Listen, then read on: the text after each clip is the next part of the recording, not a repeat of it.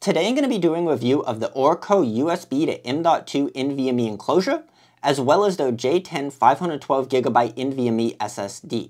I'm going to be taking a look at these components separately as well as together as a combo. I'm going to be taking a look at the thermals, performance, and other characteristics of these two components. Orico sent me these drives for the purpose of this review and no money has changed hands. They haven't seen this review before it's gone public on YouTube, but they have provided a link to take a look at this combo in the video description below. Let's first take a look at the M.2 SSD enclosure. This is a little USB enclosure that converts a USB-C signal into a small drive enclosure which holds a M.2 NVMe SSD up to a size of 2280. It's housed in a clear plastic shell, which is kind of convenient because it has a blue LED that blinks when there is drive activity and shows solid blue when it's on and running. As well as this enclosure in the box, it includes two USB-C cables, a C to C and a C to A cable, so you can plug it into almost any type of system, as well as a thermal pad to have a better thermal connection between the black heatsink on the outside of this case and the SSD itself. Opening up the enclosure is simple by just sliding it back, and I can take a look at the insides of it. There's two boards inside here, the M.2 SSD itself, as well as the converter board. The converter board has one main chip on it, a Realtek RTL921D chip. And this chip is in charge of converting the USB 10 gigabit signal that goes to the computer to a PCI Express connection that can be used with these NVMe drives. One aspect of this drive that I think could be improved is how the SSD mounts to it. I wish there was a toolless mechanism because the current way of using this little screw and bushing can be a little bit annoying, but I have gotten used to it and can do it quite quickly now after replacing the drive a few times. Taking out this little screw allows me to remove the M.2 drive, and now I can see the converter board itself and the separate drive. One great thing with this converter board is it works with essentially any NVMe SSD I've tried it with. I can just plug the SSD I want into this enclosure, screw it down, and it works with any third-party SSD I'd like. The other nice thing is it doesn't have any extra data or anything, so this drive shows the exact same data if it was plugged into an internal NVMe slot on your board versus plugged into this converter board, which can make it a great way of doing cloning or other data manipulation from like a perhaps dead laptop or something like that. Now let's take a look at the Orico J10 NVMe M.2 SSD.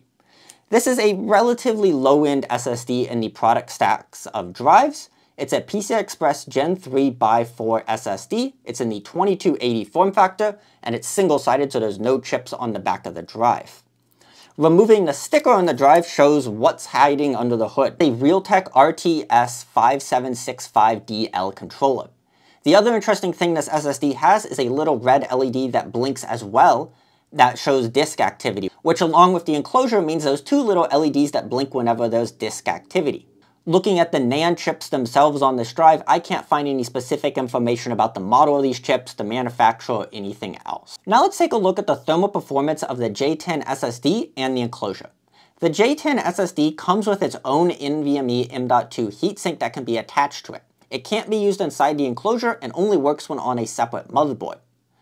But being a fairly low-end SSD, the heatsink really isn't needed as it doesn't pull that much power. I didn't see the temperatures ever get to a unacceptable range when used on an open air test bench with very little airflow. But one thing I do want to note is it seems like the temperature sensor has an issue on this SSD as it always reported 40 Celsius in all of my testing across multiple different systems and OSs. That seems like a bug. Putting it inside the enclosure got some relatively warm temperatures. Using a thermal camera, I saw temperatures of roughly 47 Celsius on the external heatsink in this enclosure, but didn't see any noticeable thermal throttling or issues. It was very warm to the touch, but not hot, I'd say. I also saw some hot spots on the bottom of the enclosure, likely where the little controller that converts USB to NVMe signals was located. Putting in a higher power SSD in this enclosure, in this case an SN850X, raised the temperatures a bit more. I got external temperatures of roughly 57 Celsius and drive uh, temperatures on the drive of about 80 Celsius, which is quite hot for these drives. They should be able to thermal throttle down in case they get too hot, but I didn't see any performance drops due to thermal throttling in this case, but it is pretty hot for my liking. I would have loved to see a slightly larger heatsink to deal with in case I want to put a higher power drive in and do a long write, for example. Let's take a look at the performance of the enclosure and the SSD now. The enclosure has a USB 10 gigabit port on it, which gives you a bit over 1 gigabyte per second peak speeds when copying files around.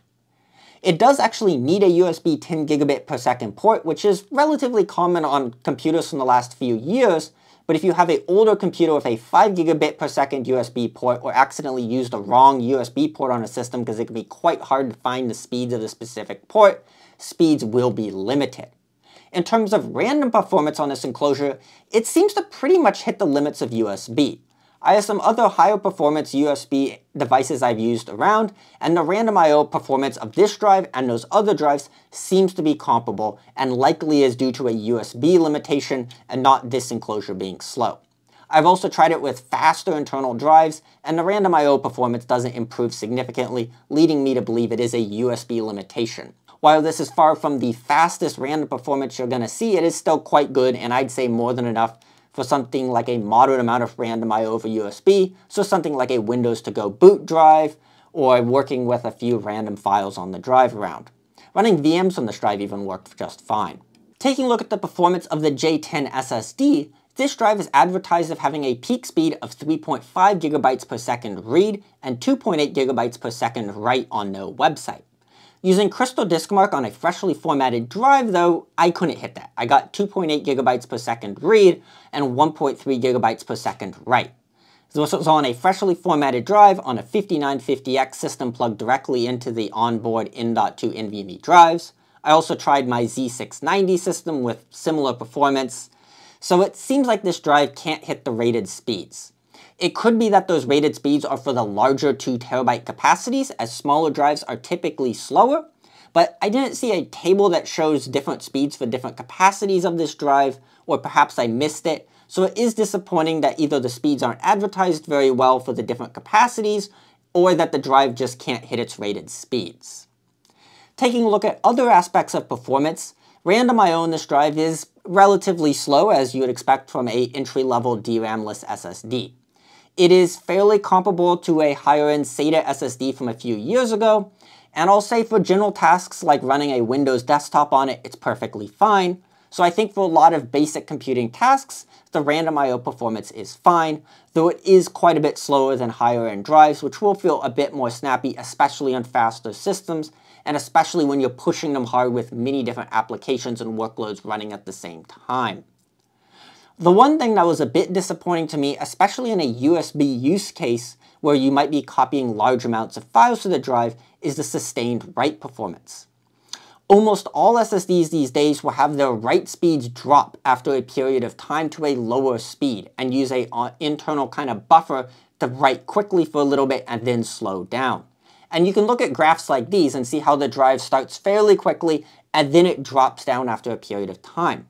And this drive starts writing at about that 1.3 gigabyte per second range, and then over the whole speed of the drive averages roughly 90 to 75 megabytes per second over the whole speed, which is quite slow. And if you're doing something like backing up a system or copying an SD card full of photos or videos, this can take quite a while as it has a very substantial speed drop-off. I did take a look at the size of that cache, and if this drive is fully empty and has just been trimmed, it's a bit over 100 gigabytes. But if it's a completely full drive or you aren't using trim on your system, it's roughly 10 gigabytes as it's adaptive depending on how much free space the drive has. It would be nice to see an option of this enclosure that's comboed with a higher end drive, because I think a use case of writing a lot of data to an external USB drive, at least for me, is fairly common if I'm doing like an imaging system or I need to dump a lot of camera files, or perhaps doing backup of a system on one of these drives. And this drive is quite slow for doing that, unfortunately. Otherwise, it worked fine. I didn't have any data integrity issues or crashes or problems with the drive. Overall, I found this enclosure to be quite a handy little drive to have laying around. It's small, convenient form factor to put in a pocket or backpack, carry lots of data, and access it at a fairly high rate. And as someone who works with a lot of different M.2 drives, being able to easily slot them in and access the data makes it quite convenient for imaging, backups, or using random M.2 drives that are laying around. I would love to see a slightly bigger heatsink as it does get quite hot with higher end drives especially, and perhaps a heatsink on the back for the USB controller as well. As far as the J10 SSD goes, I think it's disappointing that it couldn't hit its rated read and write speed numbers, and I think it's also disappointing seeing those sustained write speeds being relatively low. At least for my workloads, I think it limits its usability if I want to do like an image of a laptop or a large file dump onto this drive. If you're doing mostly reads in a USB enclosure, it works perfectly fine, and even though it doesn't have the fastest random I/O performance, it's going to be limited by the USB port anyways instead of the drive inside of it under most workloads. I think this combo works pretty good as an external drive, and I think it's a huge step up over the mechanical hard drives we had a few years ago. And I'm overall glad this is a combo instead of a single drive, because it's super handy to be able to take it apart and put in a different drive later on, or maybe use this drive as an internal drive inside your system. Let me know what your thoughts on the, both of these products are in the comments below, and thanks for watching this video.